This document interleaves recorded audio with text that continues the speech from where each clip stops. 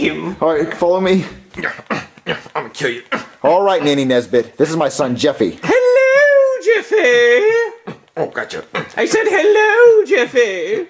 Jeffy, she's trying to talk to you. I don't give a shit. Oh my, how rude. I'm sorry, he's just distracted by his video game. Video games? Video games corrupt the minds of children. Give me this. Hey, what the fuck? That's my game! No bad language. Why don't you go eat a cracker, you parrot nose fuck?